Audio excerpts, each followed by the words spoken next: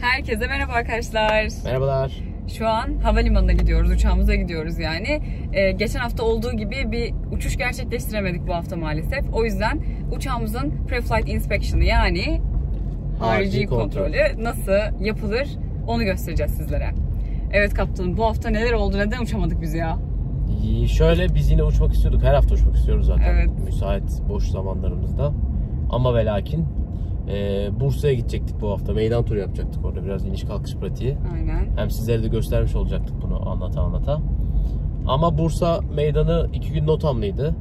E, Bursa'ya gidemedik. Yunus Emre Havalimanı'na gitmeyi planlıyorduk. E, sonra Çorlu'ya gitmek istedik. Çorlu'da da eğitimden dolayı yoğunluk vardı. Onlardan da e, müsaade alamadık. E, biz de kalan günlerde de kendi işlerimiz vardı. Uçuşumuz vardı vesaire. Evet. Bir türlü denk getiremedik yani. Rüzgarlı bitiş oldu bir gün. Yine uçamadık. Hava müsait değildi. O yüzden Evet. biz de dedik ki en azından sizler de so- soruyordunuz.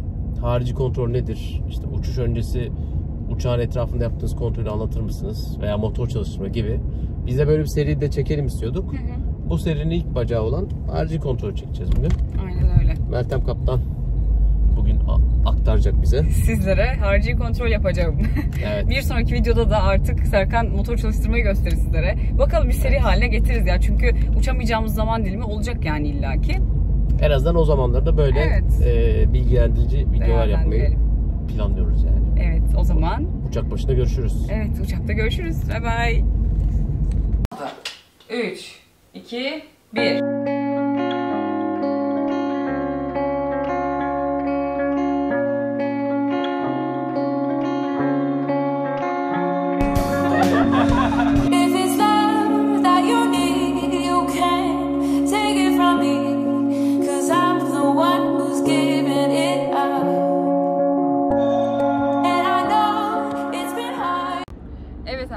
uçak başına geldik. Yeleğimi de giydim gördüğünüz gibi. Eğer apronda bir işiniz varsa diğer uçaklar ve e, çalışan herhangi bir alet tarafından görünülebilirliğinizi arttırmak adına böyle high vis bir yelek giymeniz gerekiyor. O zaman harici kontrole başlayalım. Evet, pre-flight inspection uçak başına geldiğiniz an başlıyor aslında. Şu an mesela uçağa baktığımızda neler görüyoruz? Hemen sizin için özetleyeyim. Uçağın üzerinde var olan güneşten korumak üzere dizayn edilmiş bir branda var. Yani aslında arabaları korumak için yapılan brandanın aynısı. Aynı o şekilde çalışıyor. Motorları görüyorsanız eğer önünde ufak kapakçıklar var. Onlar da motora herhangi bir dışarıdan bir şey girmesini engelleyen ufak yastık kıvamında küçük koruma kılıfları. Ve burada görmüş olduğunuz pitotüp var. Onun da üzerinde bir tane kılıf var. Hatta Remove Before Flight yazıyor. Bu bir sürü anahtarlıkta görmüşsünüzdür eminim daha önce. Uçuş öncesi çıkartılması gereken kılıflardan bir tanesi. Evet görmüş olduğunuz gibi tekerleğin önünde ve arkasında takozlar var. İstem dışı hareketini engellemek için var onlar. Ve bu lastiğin içinde de beton var ki halatlarla bağlı olduğunu görüyorsunuz. Rüzgarlı havalarda uçağın kendi kendine hareket etmesini engelleyecek şeyler bunlar. Ana iniş takımlarının önünde ve arkasında ikişer tane takozumuz var gördüğünüz gibi. Ön iniş takımında da sadece bir tane yeterli oluyor. Bu şekilde. O zaman şimdi bahsettiğim bu tüm kapakçıkları çıkartarak başlayalım harici kontrole. Fizotipten başlıyorum. Böyle bir şey.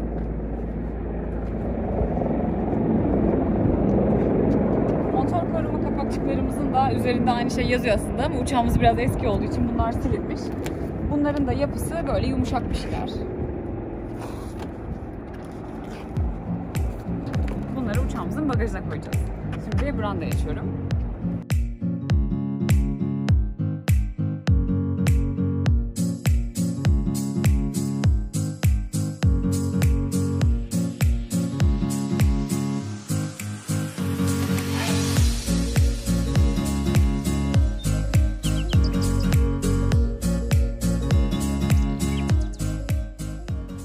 Evet gördüğünüz gibi brandamızı topladık. Motor kapakçıklarımızı aldık.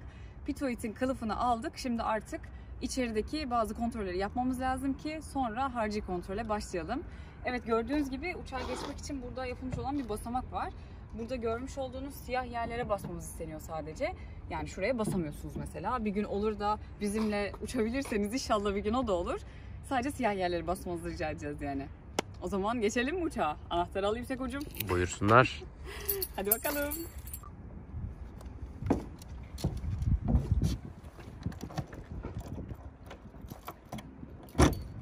Evet şimdi kontrollerimize kokpitten başlayacağız. Güneşliğimi de aldım. Şöyle arka tarafa koyuyorum şimdilik. Anahtarımız burada. Şimdi kokpitte her şey checkliste yapılıyor ki unutmayalım diye arkadaşlar. Pre-flight inspection. Görebiliyor musunuz bilmiyorum ama checkliste buradan başlıyoruz. Şimdi öncelikle kokpit içi yapılan kontrolleri tamamlayacağız. Sonra da harici kontrole dışarıdan başlayacağız. Öncelikle sol parmağımla gördüğünüz gibi takip edeceğim ki herhangi bir maddeyi atlamayalım diye. Checklistimizin ilk maddesiyle başlıyoruz. Gear switch down. Yani iniş takımlarımızın, landing gearlarımızın down pozisyonda olduğunu gördük. Manyeto starter switch off.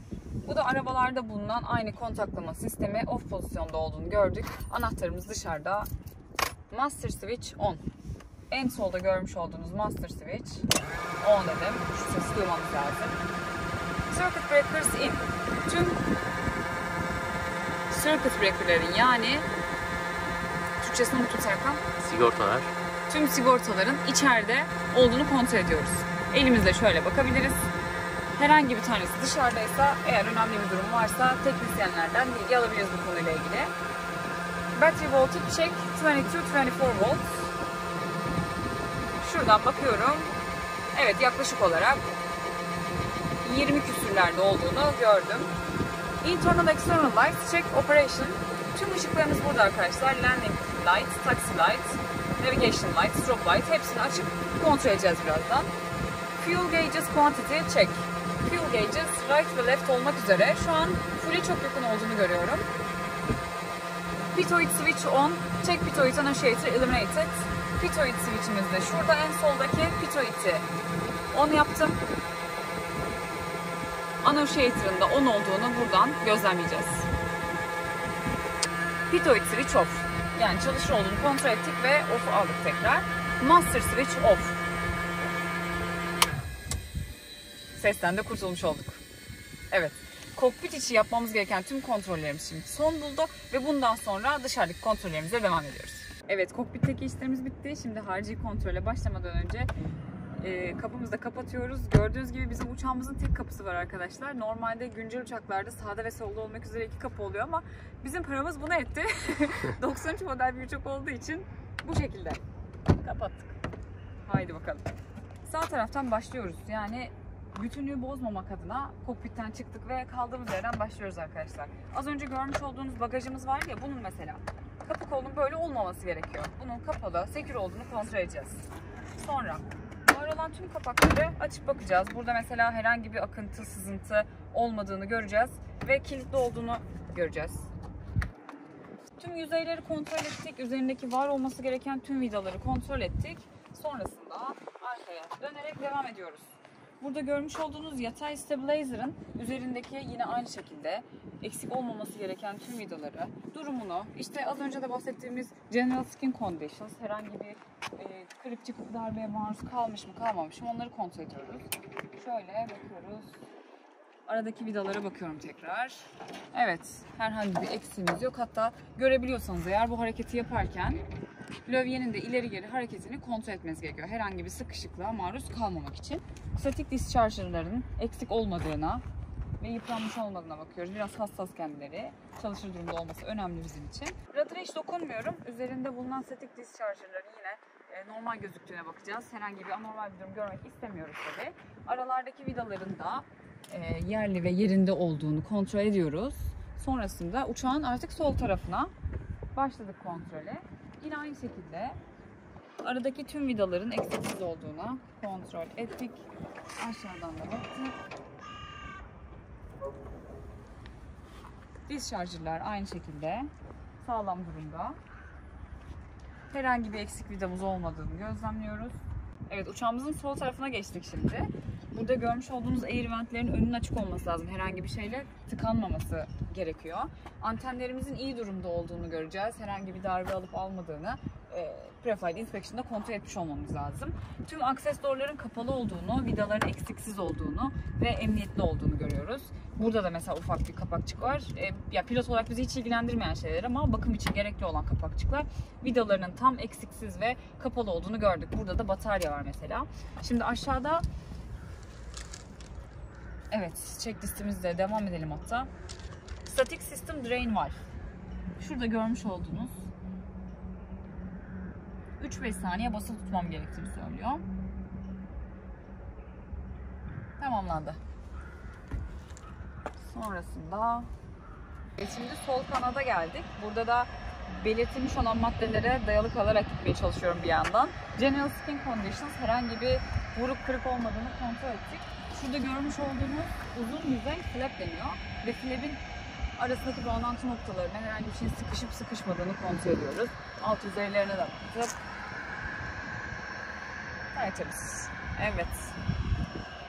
Aileron ve attachment point. Burada da yine aralarda vidaların olduğunu gördüm. Eksik herhangi bir vidamız yok. Ve yine bu arkadaki gibi yine aynı hareketi yapıp bir yandan da gövdenin sağ ve sol hareketini görmem lazım. Gördük. Aşağıdan da baktım. Herhangi bir vidamız olmadığını gördük. Her şey yolunda. Evet, ışıklarımızın çalışır durumda olduğunu kontrol edeceğiz. Işıklarımızı kontrol ettik. Şimdi sırasıyla devam ediyorum. Landing taxi lights. Onlar da şurada. Herhangi bir çatlak olmadığını gördüm. Zaten az önce çalışır durumda olup olmadığını kontrol etmiştik. Burada pitoitimiz az önce çalıştırdığımız için hafif sıcak olması gerekiyor. Sıcak olduğunu gördüm. İçinde herhangi bir şey tıkalı olmaması gerekiyor. Açık olduğunu gördük. Sonra sol warning. Bunun da engellenmiş olmaması gerekiyor. Önünün açık olması gerekiyor. Evet. Fuel tank, check quantity, secure. Bunu şimdi az önce içeride görmüştük ya full'e çok yakın olduğu için gözle kontrolünü yapıyorum. Evet yakıtı gördüm. Kapatıyorum. Ve bunun da tamamen secure olması gerekiyor. Şöyle dümdüz olacak yani. Evet şimdi iniş takımımızın durumuyla devam ediyoruz. Önünde ve arkasında takozlar olduğunu söylemiştim. Eğer uçuşa gidiyor olsaydık şimdi onları alıp bagaja koymamız gerekiyordu. Ondan sonra landing gear kapakçığımıza bakıyorum. Herhangi bir vidası eksik değil. Kapanabilir durumda ve e, durumu iyi. Herhangi bir akıntı sızıntı yok. Buradaki disklerin olması gerektiği gibi olduğunu kontrol ettik. Ve sonrasında da yakıt drain edeceğiz ve yakıtımızın durumuna bakacağız. O da biraz şöyle geride.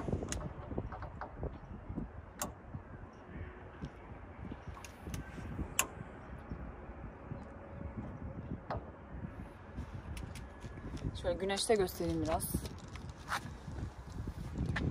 Mavi oktan renginde olduğunu gördük ve içinde herhangi bir başka sıvı olduğunu da belli oluyor arkadaşlar. Mesela su olsaydı belli olacaktı yapısından dolayı. Şimdi yakıt tasarrufu için bunu geri koyuyorum.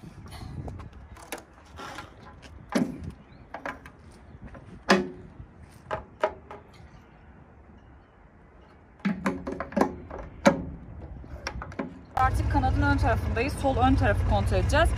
Ee, cabin Air Inlet. Önünün kapalı olup olmadığını kontrol ediyoruz. İçini görebiliyor musun Serkan bilmiyorum ama önünde herhangi bir şey olmayacak, kapalı olmayacak. Air Inlet açık olacak. Ee, left Cold Flap Inspect. Left Cold Flap dediği yer burası.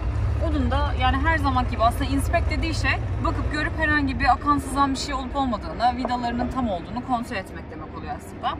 Yine buraya eğilmişken bakalım e, gear'ımızın iyi durumda olduğunu göreceğiz. Üzerinde herhangi bir e, lastiğin yıpranmış olmadığını göreceğiz. Eğer uçuşa gidiyor olsaydık da önündeki çok suda alacaktım.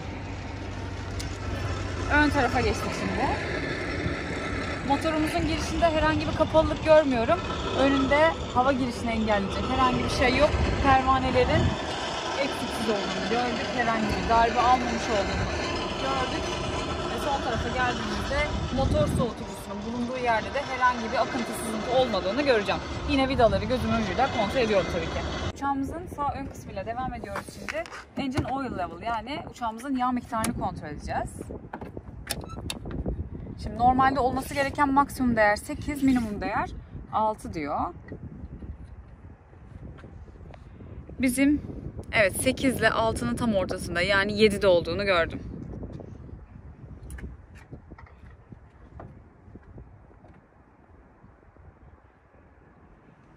İyice sıktığımıza emin oluyoruz ve kapattık.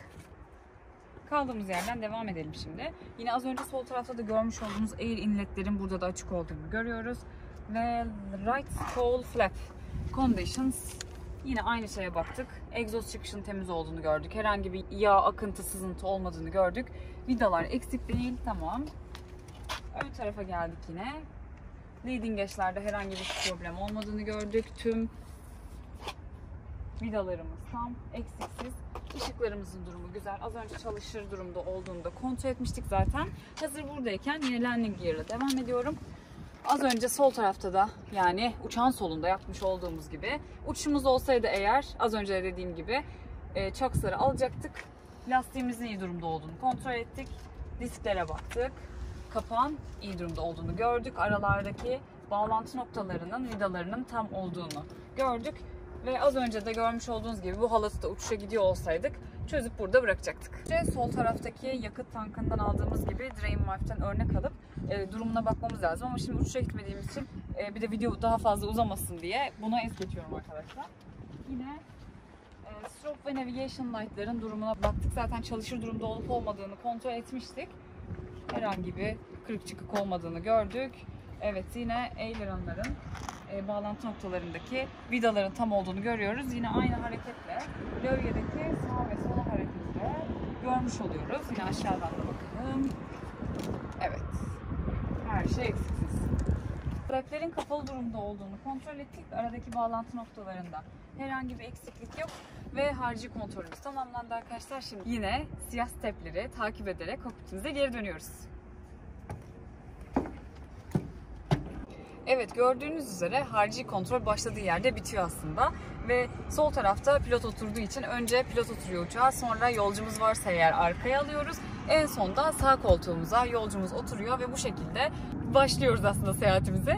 Ee, bundan sonraki checklistimizin sonrasında before start checklist var. Yani harici kontrol tamamlandıktan sonra uçağı çalıştırma prosedürleri ve öncesinde yapmamız gereken şeyler var aslında.